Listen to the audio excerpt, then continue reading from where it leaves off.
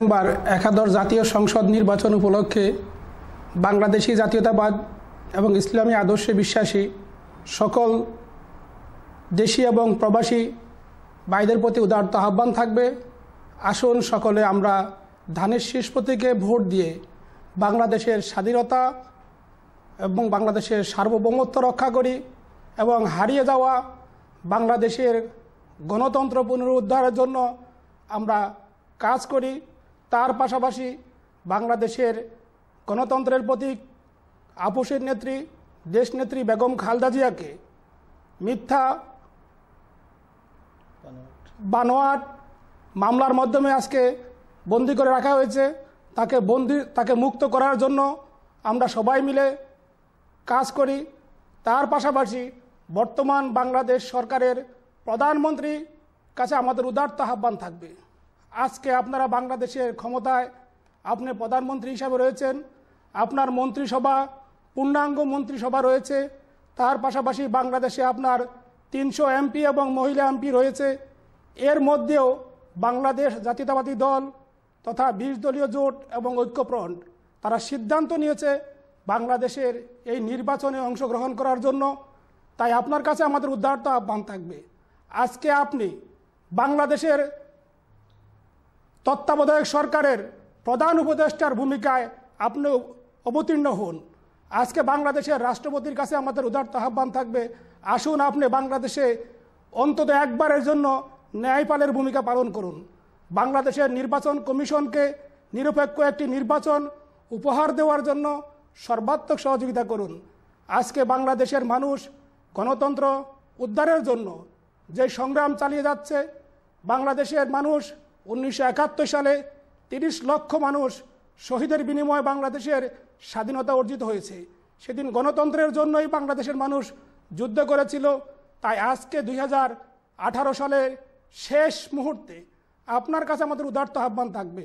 আপনার মন্ত্রিসভা এবং আপনার এমপি সাহেবদের প্রতি উদার্ত আহ্বান থাকবে। আপনারা আসুন সমতলভাবে, সমানভাবে, নিরপেক্ষভাবে একটি নির্বাচন উপহার দেওয়ার জন্য আসুন আপনারা সবাই মিলে আমরা একসাথে কাজ করি। একবার আপনাদের আমাদের জনপ্রিয়তা যাচাই করার জন্য, একটিবারের জন্য বাংলাদেশের সাধারণ মানুষকে সুযোগ দেন। আগামী ভবিষ্যৎ প্রজন্মদেরকে আমরা গণতন্ত্র শিক্ষা দেওয়ার জন্য, তাদেরকে গণতন্ত্র উপহার দেওয়ার জন্য, বাংলাদেশের সরকারের প্রতি, প্রশাসনের প্রতি, পুলিশ প্রতি, সকলের প্রতি, বাংলাদেশের যে মানুষের যে নেগেটিভ অ্যাটিচিউড রয়েছে, সেখান থেকে উত্তরণের জন্য বাংলাদেশের মানুষকে আগামী নতুন প্রজন্মকে আপনারা সুযোগ করে দেন। আগামী তিরিশে ডিসেম্বর এ জাতীয় নির্বাচন। যাতে করে বাংলার মানুষ একটি উদাহরণ হিসাবে যেন তারা যেন স্মরণ করতে পারে।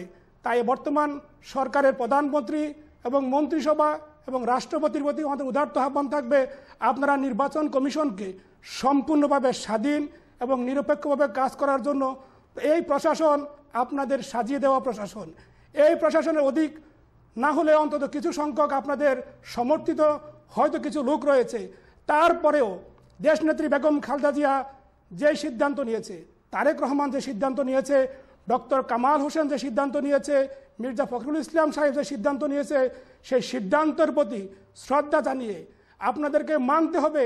আজকে যদি এই অবস্থা যদি বিএনপির জায়গায় যদি আপনারা হতেন, তাহলে এরকম নির্বাচন হয়তো আপনারা কখনো অংশগ্রহণ করতেন না। কিন্তু তারপরেও আজকে বিএনপি বিশ দল ঐক্যজোটের সিদ্ধান্ত নিয়েছে, দেশ এবং দেশের মানুষের প্রতি শ্রদ্ধা রেখে, গণতন্ত্রের প্রতি শ্রদ্ধা রেখে বাংলাদেশের অর্থনীতি মুক্তির জন্য, বাংলাদেশের মানুষকে মুক্তি দেওয়ার জন্য তাই তারা আজকে ভোটের ময়দানে এসেছে।